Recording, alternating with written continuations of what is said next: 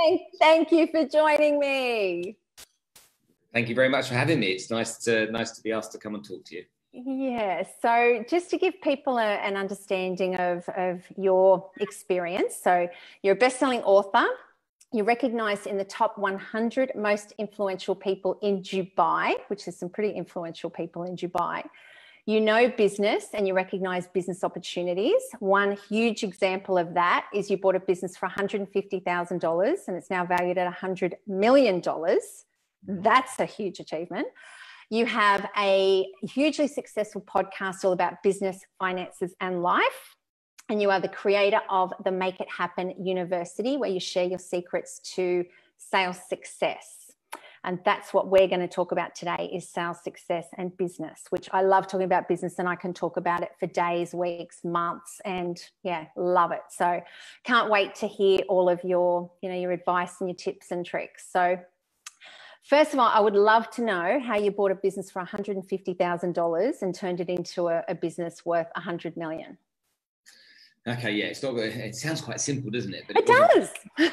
what actually happened is um, I, I, own a company called the Blue Sky Thinking Group. That's a group of companies, and we include insurance broking and wealth management in there. And one day we had, uh, so we are in a licensed insurance broker in Dubai. And I think there's 79 licenses here. And one day, two guys came into the office with a piece of software and they said, Look, we've got this software. We want to monetize it. We can't monetize it without uh, having an insurance broking license. So we're looking to do a JV. And so I listened to what they had to say, and I said to them, well, why, why, don't you go and speak to the other companies? They said, We've spoken to every other company. Everyone said no. And I'm like, so first of all, I'm offended. I'm like, well, I'm the last person you'd speak to. How dare you? You know. um, but then, what most people didn't said no to was the fact they didn't understand the software. And it was a HR administration management tool, cloud-based tool that uh, enabled companies in the SME space to run their HR more efficiently rather than using Excel spreadsheets, which most of them do. And so we decided to get involved and danielle my business partner she she's way smarter than me and she said this is a good opportunity. And so we did a, a, a, deal where we bought some of the equity in the business on the condition that the guys that, that, developed the software stayed within the business. But within three months, they were bored and off to the next thing. And so we bought the rest of the company from them. And it was you know, 130, 150, I can't remember, but not a lot of money at all. Um, and then we decided to go and build that software out and allow that software initially to be a lead generation tool, in, fact, in fairness to medical insurance and other corporate insurances we offered. Um, and what it started to be was so much more than that. It started to be very valuable. There's a huge amount of important data on there that we know about companies, employees, salaries. You know, we can we can work with recruitment industries um, and help them understand what the average salaries are across a number of different functions. We understand um, medical insurance requirements and other types of gratuity schemes, company pension schemes, etc. Hmm. Um, and we just put a lot of time into it and uh, realized that we had something very special. And there was another company in America called Zenefits that did something very similar. And Zenefits, if you go and look, look in the, the, the archives, you'll learn that Zenefits was the fastest growing startup in Silicon Valley ever and uh, they were quickly worth 3.4 billion or something outrageous, doing something very similar. But uh, obviously, the States is a, a much bigger country than the United Arab Emirates. Hmm. Um, and so we kind of looked at their model, looked at the things they did well and they did badly, and then decided to go about it ourselves. And we'd never been involved in IT, in software, anything like that before. It was um, it was a, a, a, a fluke, I would say, from getting introduced, and then a commitment uh, to making something of it. And uh, not in a million, not in a million years did we think beyond our wildest dreams that it would grow to be as valuable as that that quickly. Um, but it has done, and it's um, you know uh, very much respected. It's called Benepool, the software, and it's an anagram of benefits and people. And so you can you can find it online, but it's specifically for the Middle East. Wow. And so how long did it take you to do all of that? Like from from the minute you you sort of the you know sort of found these people to to now, how long has that been? five years. Wow. Wow. And so is that a skill that you've got that you recognize business opportunities like that? Um, I, I, recognize opportunities because I'm the ever ever the optimist. So I see stuff, and as a salesman myself, I get sold on stuff very quickly. Mm-hmm. So um, you can you can sell me on a, on a, on a on an idea very quickly. I buy into it. I get enthusiastic about it. But luckily, I've got a group of people around me that are very conservative, very cautious, very analytical and data driven. Uh, and because of that, we do all of these checks before we say yes to anything. And um, and whenever we look at opportunities, we, uh, you know, I, will get excited. You'll, you'll, the conversation will be in the car. Danielle, my business partner, on the phone to me, and I'll be like, "Danny, Danny, Danny, I met this guy today, and they, this guy's doing this, and this guy's doing that. We could do this, and we could do that." And she was like, "Oh, that sounds fantastic, really interesting." And I'm like, "So, what? We need to get an NDA signed. We need to do that." Be like, "Whoa, hold on a minute, hold on a minute. Let me do a bit of research." And um, and so that's how it works. And if you ask my PA, it's quite interesting. My PA Sarah's been with me 15 years, just like Danny has. And Sarah, Sarah has a, a, three strike rule with me. She says, if you ask me to do something important, I listen to you. If you ask me to do it twice, I know you're taking it seriously. But if you ask me to do it three times, that's when I action it because ah. I'm so enthusiastic about lots of things. And so we just need to make sure that you stay on the straight and narrow. So if it sticks, she knows it's something. If it sticks in yeah. your mind, then it's something. All right. Oh, that's interesting. Okay. So now I want to talk about real estate businesses. So that's that's kind of the, the people in my Let's Talk About Real Estate group. So how does the principal of a real estate business first assess what's happening in their business to increase the performance of their staff? What's the best way to, to sort of, you know, come in and, and assess everything? What, what do you do when you look at someone's business? So I think the first thing to remember is anybody that owns a business gets very emotional about their own business. They've probably got their house on the line or they've got some, you know, big commitments and, and, and investment into it. And so you can't always be objective. And the difference with me and them is that I can look from a helicopter point of view and look down and see it for what it really is. And the, the, the, problem with real estate businesses on the whole is they're actually not not really worth very much because they're essentially middlemen you know they find a buyer they find a seller they sell a property and they earn a commission. And so in terms of property management there's renewable income but in other areas it's really kind of like a a one hit sale and a one bit of commission. Mm-hmm. So I get businesses to start looking at that and being more honest about that and really understanding that their business itself is about the people and really being aware of the strengths and the weaknesses of people, doing, you know, uh, analytical analysis of people that work within their business rather than, well, he's a really good bloke and she's a really good person, you know.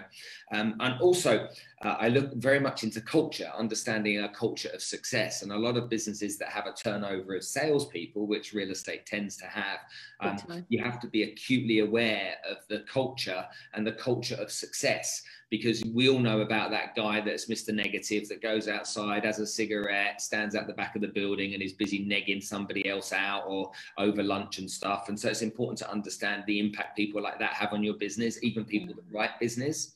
Yeah. Um, and it's also really important to understand in business, if you're in the real estate sector, to understand the, the importance of brand um, and really take that seriously rather than just, you know, what do you call it? Um, property portal leads and sales, which seems to be what a lot of people focus on.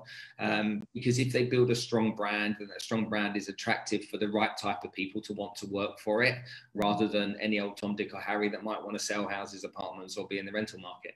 Yeah, definitely. All right. So, what are some examples of systems that you put in place for business owners and salespeople? If you were to come into a business, what are some of the things that you like the must that that they have that they should have? So for, for me, um, opinions are irrelevant. Data is everything. So when it comes to understanding a business and the system they put in place, it's really important to understand that data tells the truth um, and to come away from what our, our thoughts and our ideas are and stay looking at the absolute truth, which is the data. So for me, an effective CRM system uh, is really, really important that it's gathering the right kind of data that everyone agrees should be read and analyzed and should lead the company forward in its decision making. The next thing I do is look very heavily at the structured training that the sales management have, because a lot of the time I see salespeople, real estate brokers, whatever you want to call them, they get promoted up to another role, a management role, a leadership role, because they've been a successful real estate broker. Well, a real, successful real estate broker doesn't make a successful man manager. So, mm-hmm. what structure is in place to train? What structure is in place to to measure and what structure is in place really to monitor everything that's going on. And a lot of leaders don't have that in place. They're just looking at, you know, how many sales did you make this month? How much commission did you generate? Rather than identifying other characteristics and traits that people people need in business and in real estate in particular in this example. So um, it's get, getting a really structured level of training. And I see this through, you know, there's there's thousands of real estate brokerages here in the UAE. This is one of the most densely populated in, uh, cities for really? um, for real estate brokers. I think there's 6,000 real estate brokers in this city or country. Sorry, there's 9.7 million population. It's insane. Every every other person's a real estate broker. So, really getting a, a, good understanding of those those people that work in that industry, and really when you when you think about it, and and and, and you look at real estate as a whole, it's is you know what? It's it's a really interesting subject matter because it's one of five asset classes and i find this quite fascinating you know when you're selling a real estate project whether that's an off-plan property whether that's a finished unit a secondary property a secondary market property people are seeing it as investment um, people think they know about real estate. You know, the general public think they understand it because they live in a house or, or, or, whatever it may be. And so they think they're an expert at it, but they're not experts at the other four asset classes. So they shy away from it. So it's really getting a, a good handle on not only educating your employees and teaching them systems and processes, but also really getting a good handle on, on understanding your market and really understanding that market and looking at what value you can bring to the market. Mm. Awesome. Okay, now you've seen my skills on social media, like Facebook Lives, and you know, like how quickly I can do it, right? So I wanted to ask you some tips on your social media because you've you've gone really well with YouTube and, and all that sort of thing. And, and YouTube is hard to crack. I think it is it, it is something you got to be really persistent with. But just want to know how have you built a name for yourself online? Well, I, re- I was one of these old fashioned dudes, you know, a few years ago that sat there going, "Well, it's just for the kids, isn't it? You know, it's not relevant to me." Um, and I and what was I made my first video, I think, um, it must be about five years ago, uh, no, 2016. So yeah, nearly five years ago, and I made my first video, and I, I remember doing it. I had uh, my phone uh, stuck against the window in the office, which had some light on my face, and I created this video. And I was like, well, that's a load of old rubbish. And then I went into a meeting room and I put the phone and uh, put the phone on the desk, you know, resting down, and and filmed myself. And I'm like, yeah, that's a good one. And uh, I look back at it now, and it's just shocking. It's absolutely shocking. It's the the camera's looking right up my nose. Okay, there's an echoey room, and, and I'm like, oh well, good morning. It's you know it's 7 a.m. here in Dubai. And I'm like, what a load of nonsense. What was I thinking? But I think you have to to be good on social media. You have to be committed to it, and you have to be committed to learn and grow. You know, I went to a TV studio to go and learn. You know, to stand in front of a camera and get good at it. I did a two day course because I wanted to, I wanted to know you know what you needed to do to be good, and so I was prepared to invest in myself to learn those skills. Mm-hmm. And so um, I think that the reason that people like my stuff is that I'm really consistent, number one. So I'm, I'm, putting content out very consistently. I understand there's different tools you can use in terms of you can write, you can video, you can audio, you know, you can do, you know, just fixed images and stuff. Um, and so I realized that I needed to test all of these things and saw, mm-hmm. see what worked best in different areas. Um, LinkedIn's a really strong uh, platform for me, and it's where, where a lot of my uh, business uh, opportunities come from, from a training point of view. I don't mm-hmm. do any uh, outbound sales lead generation. All of my leads come to me because of the content I produce online. So, mm-hmm. Um, uh, and, and, again, when you look at LinkedIn uh, and you compare LinkedIn to Instagram and Facebook, Facebook and Instagram are a pay to play model now. They're not, they're not, they weren't before, but they are now. So if you want to grow an audience there, you can't just produce content. You've got to spend money on ads to yes. get, get that content out to people. I mean, I think there's 60,000 people on Facebook that follow me or something like that and I know for sure that only a small percentage see my content. And so mm. Facebook want to charge me to give access, uh, to get me access to my own audience, which drives me nuts, you know, when you think about it. And you think of the early days of Facebook, Coca-Cola went out and built a massive audience thinking that audience would belong to them for their marketing purposes and advertising. And Facebook are like that, nah, yeah. You know, we'll give you some, but not all of them. You have to pay to speak to them all. Yeah. So learning that, understanding that there's other platforms out there that are interesting. You know, TikTok's becoming really interesting now. And this, you know, people say again, it was for the kids, and you're right. First time I heard about it was my daughter's, but. Yeah TikTok's becoming important. Um, Yes. But it's just if you're going to produce content, produce content that's valuable, okay, and also ask people's opinions. Mm. Don't just sit there in your own head and in your own space making content thinking it's great. Not everyone wants to, you know, everyone likes the sound of your own voice. Not everyone likes your approach. Not everyone wants to see videos of houses. People like to see you document your life. People like to identify with people that have struggled like them too. So Mm. if you've got challenges and your back's been against the wall, that stuff is gold. You know, Mm. if you're a real estate broker that's just starting and you're new to the industry, you should be making content about not knowing what you're doing. Mm. Okay, you should literally be making content saying, I haven't got a clue what I'm doing. This is the first day on my job. Here we go. I'm going to learn because people will like really identify and lean into that rather than the guy in the slick suit thinking his shit doesn't stink and he's the best thing since sliced Oh. bread. Okay, producing stuff that's somewhat um, condescending, maybe sometimes, and uh, uh, uh, and not just not very interesting. Mm. And remember, you know, you think about what you watch on TV and what you consume online. Think about that. Think about what you're watching and what you're looking at. Are you being entertained? Is that are you education? What is it that you look at? Because other people think the same, and they'll just as easily swipe past your stuff if it isn't very good. So take some time, be honest with yourself, do some do some study, learn, okay, and then commit to it. So I'm doing it. I'm committed. I'm in. And what you'll see from me is there's content that goes up every day of the week. Um, we plan it, we organize it, and I'm in a fortunate position where I have a team now, but I didn't at first, not for the first couple of years. It was me with my phone, fidgeting around with a tripod, trying to get a microphone to work, sitting in a room thinking there's enough light, then not, trying to get Dropbox to work with my videos I'm making on my phone, and so on and such forth. And trying to put videos onto Facebook Live and stuff like that. Just like that, just Oh, like I I've been in your shoes like you were this morning a thousand times. so I feel so your much pain. All right. So, so the main ones you focus on uh, business to business. So you've done LinkedIn. You focus on LinkedIn and YouTube. They're the main, and you've got your podcast as well, obviously. So are they the three three things that you mainly focus on? Yeah, I do. The best, I would advise everybody to have a podcast. It's the best um, strategy, I think, right now to building an audience that you own. Because when people subscribe to your podcast, they will always get the next episode of your podcast pinged to their phone. Mm, And because they will always do it, you know that however many subscribers you've got, they all are getting it. Now, they may not all watch or listen, but they're all getting it. And a podcast is a great place to prospect as well. You can you can interview some phenomenal people. There's people out there you want to do business with. You know, if I want to do business with the CEO of a company, I just invite him onto my podcast. I've got an hour's Ah, worth of interview. I've got 15 minutes to get to know him before, and he's told his life story and shared some tips and some strategies. His phone number's now in my phone. A week later, I call him and say, whatever his name is, let's say it's John. Hey, John, loved you on the podcast last week. The episode's coming out soon. Love to buy you a coffee and brainstorm a few ideas I've got that I think can help your business. And automatically they say yes. And so awesome. very Well. Well, you've had um, Grant Cardone. He's a friend of yours, isn't he? And you've got Tony Robbins. Yeah, you've had some pretty big people on your podcast. So yeah, oh, that's that's a great tip. Okay, and and so how have you built up your following on YouTube though? Just from consistency, um, like how are you promoting it on, Making on mistakes. LinkedIn? Yeah, making mistakes. I um, uh, my again getting the content right, understanding you know thumbnails, understanding you know whether people want to watch long form content or short form content, and and just uh, kind of trying different things. I mean, my audience on on YouTube isn't huge.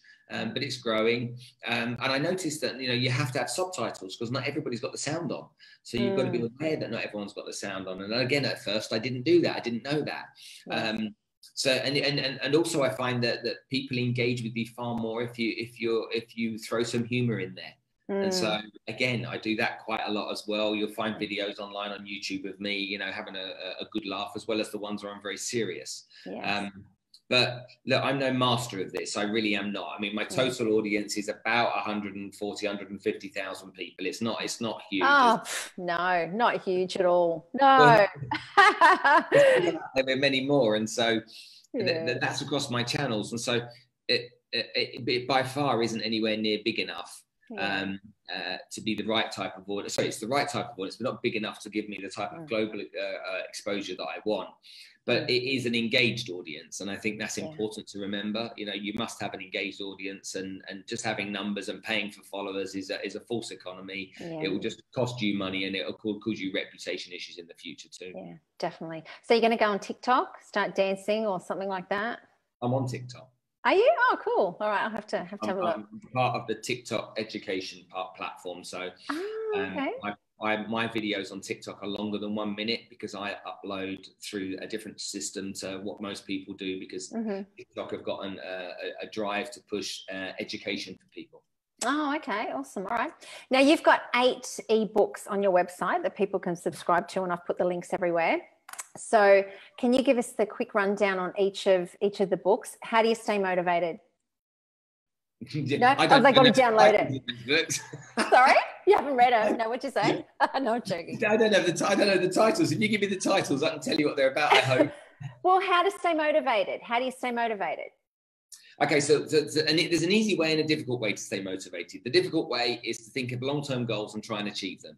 That's a difficult way to stay motivated. It can it can neg you out very quickly because they're so far away and they're so unachievable sometimes. And even if they're achievable, they're still so far away. So for me, I think motivation comes with an association of two things. Number one, loving the industry and the product that you sell and being really into that. And number two, having goals that are established over very short periods of time mm. that leads to giving you um, some some pleasure when you achieve them. So what I tell everyone to do is only ever think of 90 days think of a goal over 90 days, break that down into one month goals. Then you'll see, divide that by four, you've got four weeks, divide that by five, you've got five days. Right now, you know what you need to do each day in terms of the result.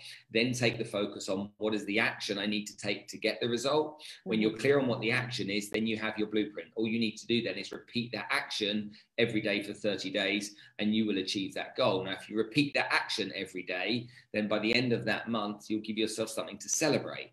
Also, 30 days is not so far away, so you can see a finish line. And if you give yourself something to celebrate after 30 days, then it will instill more confidence and self belief in you, uh, will increase your motivation.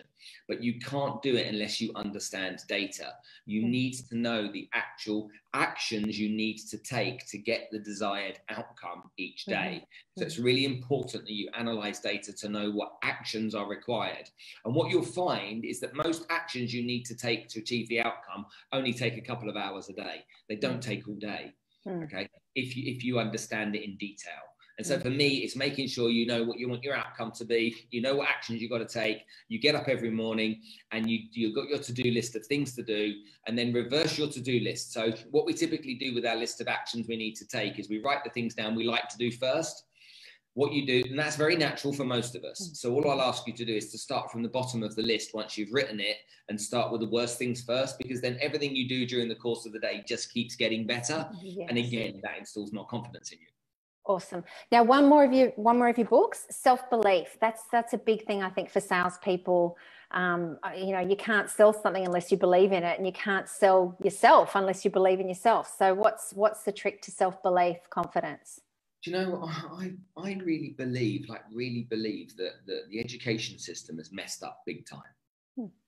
And I believe it teaches stuff that isn't relevant and it doesn't hmm. teach stuff that's really relevant. And I don't mean just because of the internet and social media age. I mean in life. Hmm. My daughters are both at university. When they leave university, the first thing they're going to do is apply for jobs. They're going to go for job interviews and they're probably going to get rejected. Hmm. When they get rejected, what's going to happen is that they're going to question themselves, they doubt themselves, their self esteem may go down, and, and, and they'll be less enthusiastic. Who's teaching them how to sell themselves?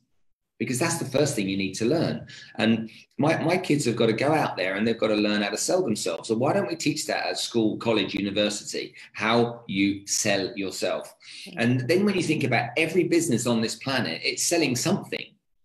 And because every business is selling something, there is always going to be people that work in that business that have to bring revenue through the doors. And those people are the backbone of the business because if you don't got revenue coming through the doors, you don't have a business. Mm. You know, you look at Facebook and say, well, that's a tech business. No, it's not. It's an advertising platform. Hmm. That's what Facebook is. They sell adverts. That's what Facebook do. That's how they make their money. They, they sell money, adverts. Yeah. So, so every business is, is trying to sell something. And so when it comes to self belief, I, I, just wish that people had been taught to sell themselves much younger, um, so they have more confidence and more belief in you know their own ability to become something. I don't really need to care about an oxbow lake, okay, or the sediment that li- lives in X Y Z, you know, riverbed. Yeah. And exactly. I don't. Do I really need to know the name of Henry VIII's all of his wives? I don't really need to know it. Do I need to know when the Aboriginal people, you know, uh, had their mistreatment from the Australia? I know all that stuff. I don't. It's not relevant to my business. No. Of course, there's importance in learning stuff, but why are we giving more importance to that than we're giving to actual life skills that you really mm. need? Mm. And so most people get into sales either because they've got bad qualifications or someone told them they could get rich quick. Mm. Okay, that's, that's so true. That's so true. That's it. And um, that's how I got into sales for goodness Me too. um, but, yeah. but, fortunately for me, I was trained really well. And one of the things I was taught to do very early on in my career was to learn how to deal with rejection. And I mm. remember the first day my boss said to me, he said, You're going to make 100 cold calls today. Do me a favor and go and find 99 people to say no. And I'm like, What? He's mm. like, You need 99 no's. When you've got 99 no's, come and see me. And so uh, Julie made these phone calls. I was getting told to F off and B off or whatever it may be. Not interested was the nicest thing anybody said. And after I made those calls, I went to my boss and said, I've got 99 people said no. He's like, brilliant, awesome. High five to me. He said, right, excellent stuff. Go do it again tomorrow. And I was like, you're mad. Anyway, what he was teaching me to do was to understand that um, rejection is part of the game. And he said to me, look, after 99 no's, you're going to find a yes, mm. but you won't get a yes until you've earned it. That's why you've got to go through the no's to earn the yes. Mm. And so all of a sudden, the penny drops. I'm like, oh, I need the no's, I need the rejection to get the yeses. Got it. So then after that, every phone call that I was making when I was getting rejection, when I was getting no, fine by me, it's only leading me closer to the yes. Mm. And so I became very confident around searching for no's, whereas a lot of people in sales aren't. You know, they fear rejection, they fear the telephone, they fear, you know, being in a situation that may be confrontational or someone gives them an objection. And so I, I, think it's really important to, to understand the kind of training that you're getting around this type of stuff. Mm-hmm. And it, I think if you if you immerse yourself in education around your subject, it will create self belief. If you mm. immerse yourself and become an expert in the area, the city, whatever it is, the marketplace you work in in real estate, and you really know it, and I mean inside out, upside down, back to front, it will create self belief. If you understand that there's rejection involved in success, then it will create self belief because it will dispel some of those feelings that you might get that will impact upon your own belief in yourself. Mm, absolutely. Sounds like you've had amazing training. That's that's very unusual for um, real estate. You know, real estate officers are, are, are, very poorly trained, just you know, as a general rule. But anyway, so so can anyone be great in sales? Okay, well, I believe yes. And so I think that the, the, stereotypical image of a salesperson is the gregarious, larger than life character, where I know from my own experience that some of the best salespeople I've ever met are shy, quiet, introverted people. But what's important to remember about sales is that sales is a skill. All it is is a skill, like a lawyer, a doctor, whatever it may be, you're learning skills. And everyone, if they learn them and cares to apply them, can use those skills effectively in business. Mm-hmm. And so there's a lot of people that say, well, I'm naturally not a salesman. No, no, no, no. Okay. You've been in negotiations, you've been in contract talks and stuff like that, and you've dealt with those. Well, that's selling. Okay. If you've had to raise money for your business, either through external investment or from the bank, you're selling. And so mm-hmm. always when we look at business there's selling being in, in, in, encompassed in every aspect of what we do mm-hmm. and so we can learn the skills if we want to. The reason people fail at sales is they don't want to learn the skills mm. or they're cocky and they're arrogant. And there's many people in sales that think their shit doesn't stink. And so they don't open themselves up to learning to be better. And that's mm. why most people in sales either fail or live in a world of mediocrity mm. because they don't have the desire to learn to be effective and learn the actual skills that will make a difference. Hmm. Okay, so do you believe in, say, the personality profiles, say the DISC profiles and all that sort of thing? Like, would you ever do something like that before hiring someone to see what their thought process is? Yeah. Everybody, everybody employed by any business that I own has a DISC profile done beforehand. Oh, awesome. Okay. And so, is there anybody that you don't suggest going to sales out of the DISC profile? Uh, of course, through a disc profile, there'll be people that are less suited to it and more mm-hmm. suited to other things. You know, I'm less suited to being an accountant. But if oh, I me too. To, yeah. If I had to be an accountant, I would be one. Mm, I'm less suited to being a, you know, a programmer, a coder. But if I really yeah. wanted to be a coder, I could mm. learn the skills. Mm. Mm, and so, okay. you know, people, in my opinion, people just aren't naturally salespeople. You know, they, they, different people buy from different people. Some people, mm, some women like to buy from women. Some women like to buy from men. Some women like to buy from women that are like them. Some women like to buy from women, you know, that are not like them. You know, so so it's different. What you have to do as a, a, professional salesperson is understand not everyone's going to buy from you all of the time, but there are people that actually really like your personality, really like your characteristics. And if you know your subject, okay, i.e., the real estate market, plus you know how to sell, and you're not some nonsense. I've been out on a few viewings and I've picked, made a few phone calls, and so that's me, a real estate broker type, then you'll create success. Mm, I think if you really want to help people too, it shines through rather than just being ah. a salesperson. Yeah. All right. So, so these questions I get asked a lot with from real estate agents. So we've got three more questions. So, how do you qualify a buyer without sounding like you're interrogating them? Like, you know, have you got finance and all that sort of thing? Like, that's something I think salespeople find very difficult. So, what would you suggest for that? So the first thing that you have to do with everybody is build a, a, decent level of rapport. And mm-hmm. again, I've watched people do this time and time again very badly. Rapport is broken down into essentially a 15 minute conversation where you ask questions and you learn about their work, their social life, and their family. That, that's what you do when you build rapport. And you ask five minutes of questions on each of those three areas mm-hmm. to really get a good understanding of the person that you're talking to, what their reasons are, what their background is, you know, what their interests are.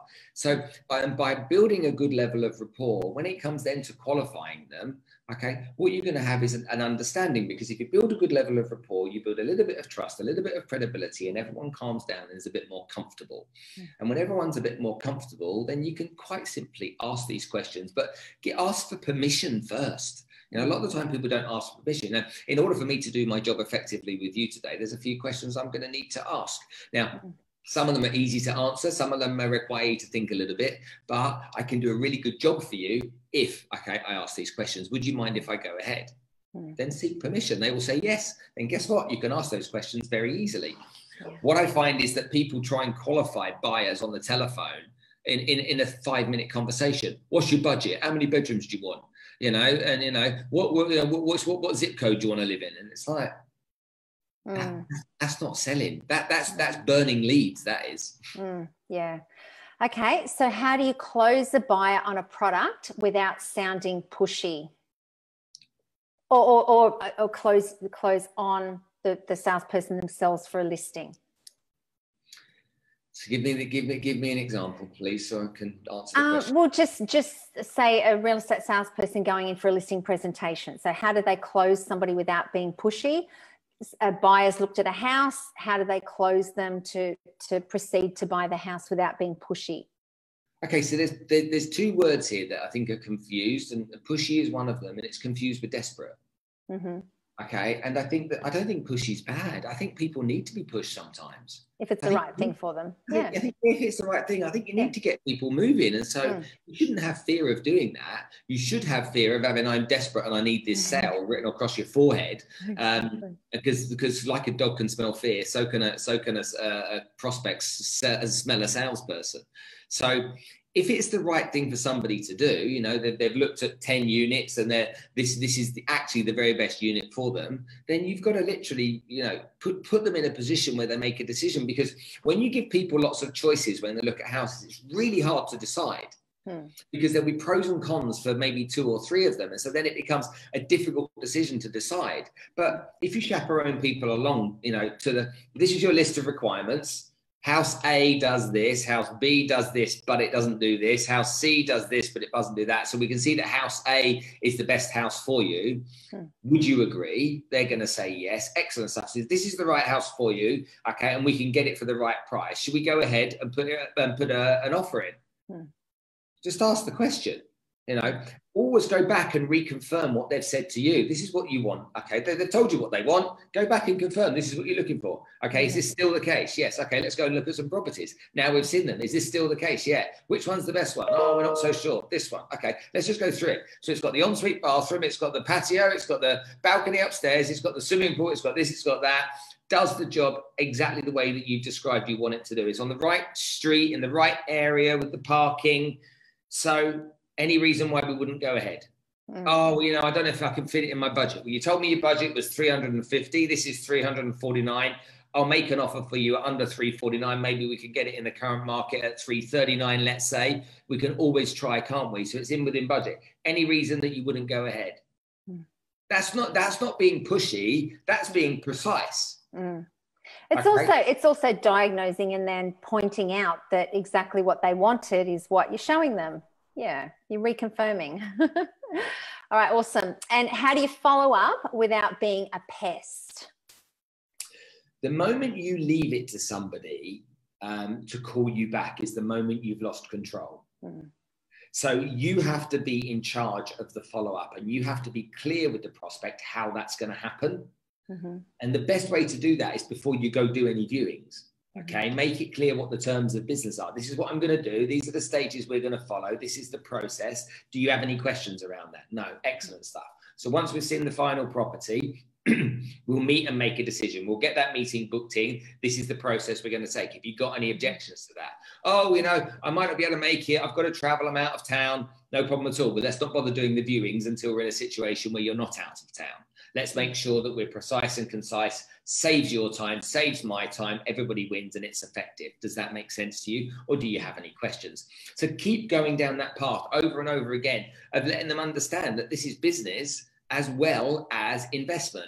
You're trying to do something that's going to help them create more value, more worth in the future, plus create beautiful memories and bring their family up in. Okay, but they've got to understand that you're a business person too. And business, you know, most people respect that is there's a lot of salespeople fear being that kind of person because they fear, you know, creating an objection. But if you deal with it at the beginning of the process, then you don't create the objection further down the road. Mm, exactly. Well, thank you so much for your time today. So, as I said, I've got the links in uh, there for your um, your podcast, the Spencer Lodge podca- podcast, and Make It Happen University. So that's your online program uh, that sounds. Well, you go to, go to spencerlodge.tv. You'll find it there. Okay, yeah, I've got the link for that there. Yeah. All right. Well, thank you so much for your time today. You've got to race off to an appointment now, don't you? So, yeah. All right. Thank you so much. I really, really appreciate it. That was amazing. And I'm going to get better with my Facebook Lives and all that sort of no stuff. No worries. I tell you what, I'll find a YouTube video for you to teach you how to do it, or maybe I'll get one of my staff. okay, do that. It's just doing it quickly. That's all. It's like you're under pressure. I, am exactly the same. When you put me under pressure like that with technology, yeah. all of a sudden my mind goes, Bleh. I know. I know. It's like, I can't. It's like a deer in the headlights. I can't do it. Anyway, never mind. all right. We'll get better. Nice talking. Nice to you see you. Lovely to meet you. Thank you. See ya. Bye. Bye.